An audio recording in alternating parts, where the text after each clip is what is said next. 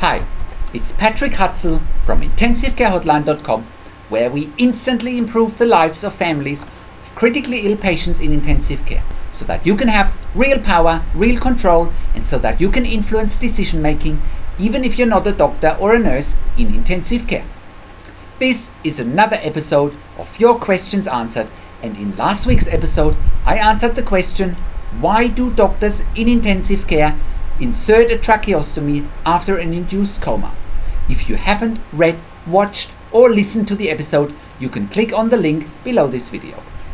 In this week's episode of Your Questions Answered, I want to look at how long will my critically ill loved one in an induced coma for after a brain or a head injury?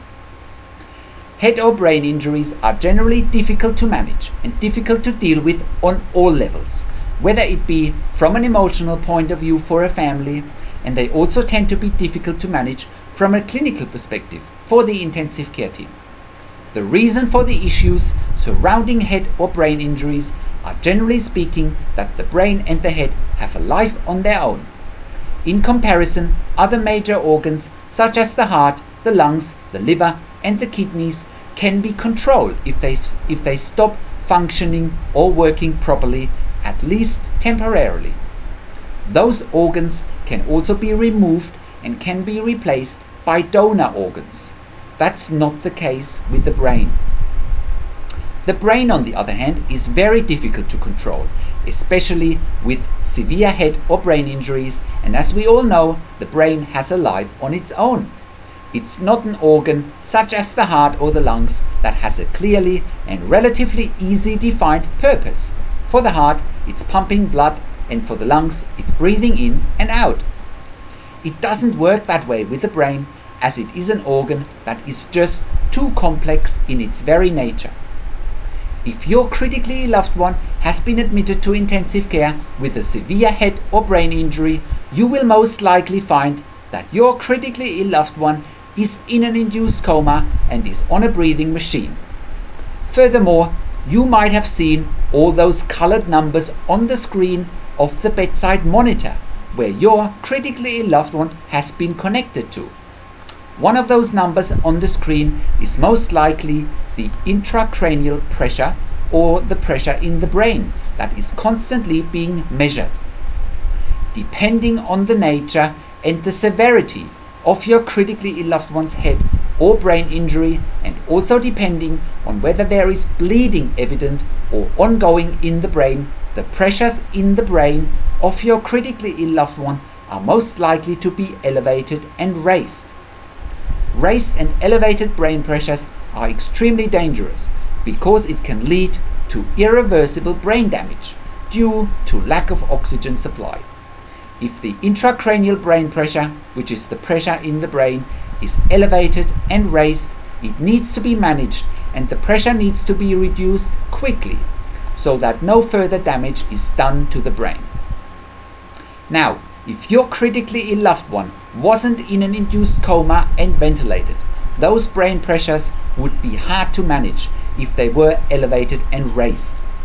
Because of the induced coma, your critically ill loved one is getting intravenous sedative and opiate drugs which are painkillers such as propofol, midazolam, fentanyl, morphine or even thiopental which is a special sedative drug only used for head or brain injuries. By having your critically ill loved one in an induced coma minimizes and reduces the risk that brain pressures are getting too high in the first place. Imagine your loved one was awake and would cough, move and would be restless. Chances that brain pressures would rise and cause irreversible da brain damage would be extremely high. Therefore, a calm, quiet and unconscious state induced by a coma is the best option to control and manage the brain pressure and brain or head injury. Once the brain pressures are controlled and stable, that's generally speaking the time when your critically ill loved one can be slowly woken up out of the induced coma. So you might now ask how long for the induced coma before your loved one can be woken up. So the time frame for an induced coma with severe head or brain injuries can take from a few days to a few weeks. It all depends on how stable or unstable the brain pressures are, and it also depends on any other injuries that your critically ill loved one may have sustained. Some other injuries sustained may be such as rib fractures, hip or pelvis fractures, spinal fractures, they all may require some form of sedation as well. But as soon as the brain pressures are under control and normal, that would be the time for your critically ill loved one to be woken up from the induced coma. I hope that this episode helped and clarified your questions about the induced coma and head or brain injuries.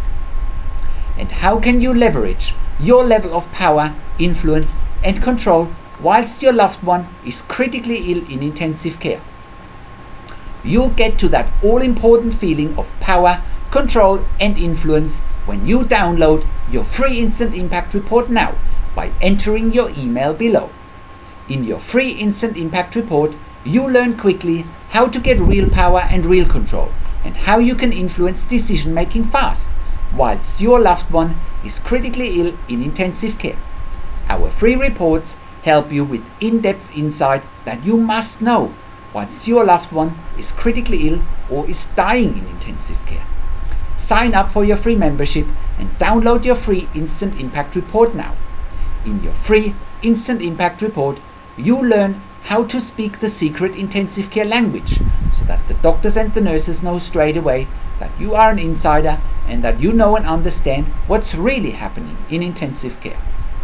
In your free report, you'll also discover how to ask the doctors and the nurses the right questions, how to eliminate fear, frustration, stress, struggle, and vulnerability even if your loved one is dying. You get 5 killer tips and strategies helping you to get on the right path to control, power, and influence in your situation. You'll get that crucial behind the scenes insight so that you know and understand what's really happening in intensive care and how you need to manage doctors and nurses in intensive care and it's not what you think it is. Thank you for tuning into this week's episode of Your Questions Answered and I'll see you again in another update next week. Make sure you also check out our blog section for more tips and strategies or send me an email to support at intensivecarehotline.com with your questions. This is Patrik Hutzel from intensivecarehotline.com and I'll see you again next week with another update.